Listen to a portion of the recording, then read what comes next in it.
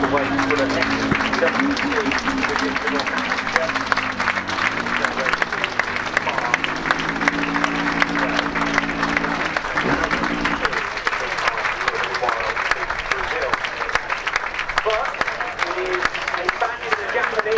on top of the number 8 Toyota with a Swiss driving Sebastian Buemi and that car now coming down the pit lane